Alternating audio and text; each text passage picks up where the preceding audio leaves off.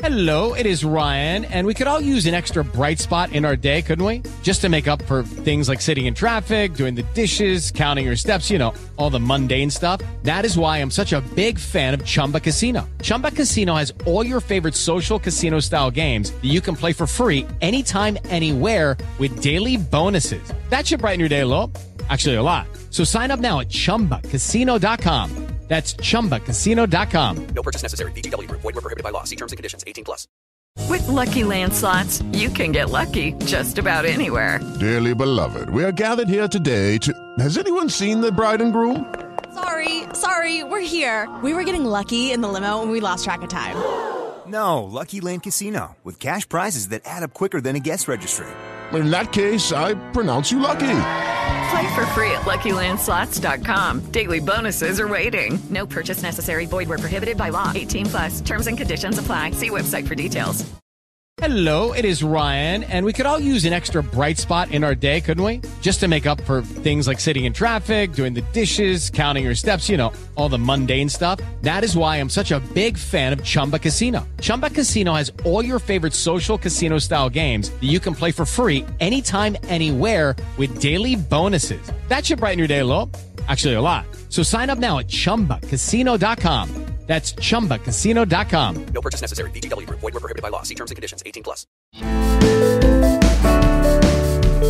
It's Tokyo time, and Anything But Footy brings you the views of the athletes in action just before their event. She needs little introduction from us. 14 Paralympic gold medals over two sports across seven games. Now, cyclist Dame Sarah Storey is back for her eighth and going for gold in the velodrome and on the road. Now, ahead of Barcelona in 1992, I don't suspect you ever envisaged you would be sat on Zoom talking about games number eight in 2021, did you?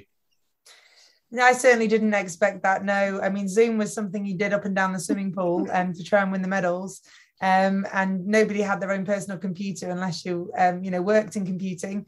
Um, and yeah, I had absolutely no idea that we'd um, in- involve a pandemic as well. So now I'm I'm obviously hugely thrilled, um, and so much has happened. Um, and I, when I look back at that, you know, seven Paralympic games that I've competed at so far, um, I do pinch myself, um, but I know about, about the amount of work that's gone into it. The serious point is, though, the hunger, the desire, that love of competing must still burn very brightly inside you. It certainly does. Um, you know, competition days are always incredibly exciting, even if they are a little bit nerve wracking as well.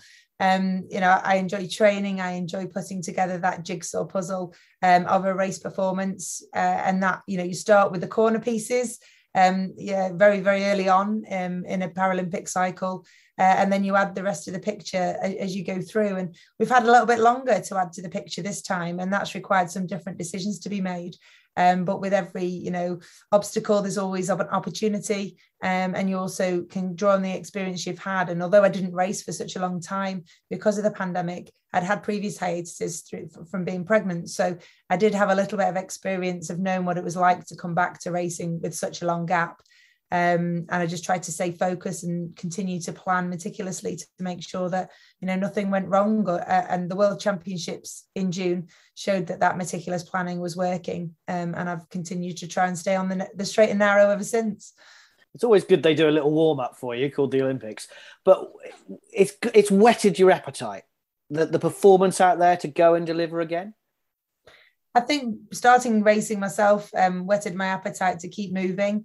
Um, having the World Championships in June was obviously felt like it was a bit too soon in some senses, but being able to just get stuck in and not try not to worry too much about the lack of racing was really, really important. Um, and to come out on top with two dominant performances was was really really um, exciting not just because of what it meant I'd achieved through lockdown but also what I still had to do because I wasn't in the the tip top condition I wanted to be with such you know a lack of racing. So that's given me a really strong platform um, and a lot of confidence to take through into what I've been doing since those world championships.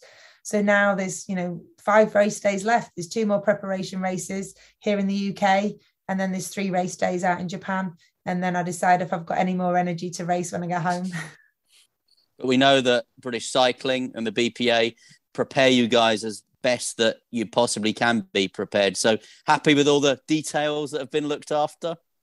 yeah, certainly the team, you know, the team has a huge a huge task and it has had a huge task it's, it's changed daily no doubt with the the interactions to prepare the team to get out there and all the different scenarios within the you know the various levels of playbook.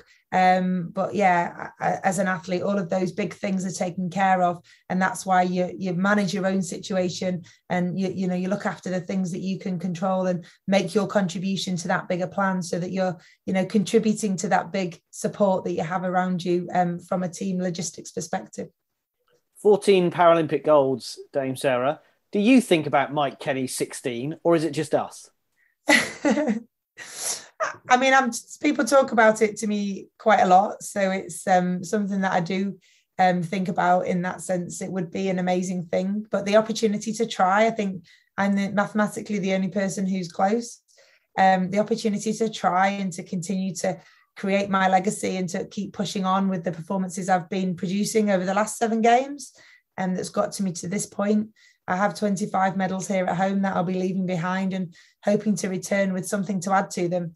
Um, and I'm focusing very much on you know making sure that each race day is the very very best Sarah Storey that you'll find you know out in that Japanese environment. And you've talked about some of the challenges without Barney being there with everything else. Will it mean much more if you medal this time?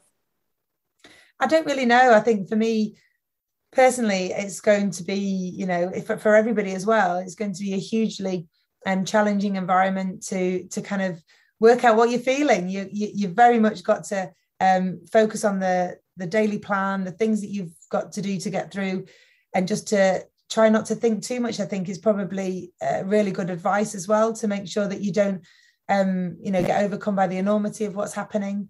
Um, it's another race day. It's another opportunity to prove just how good you are as an athlete, um, and that's really trying to keep it that simple.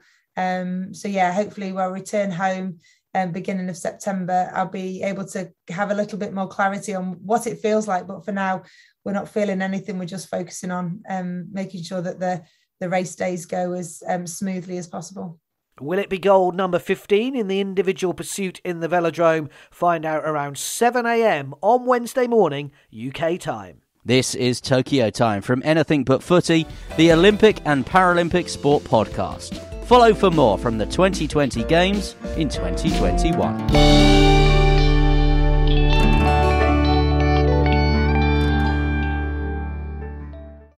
Sports Social Podcast Network.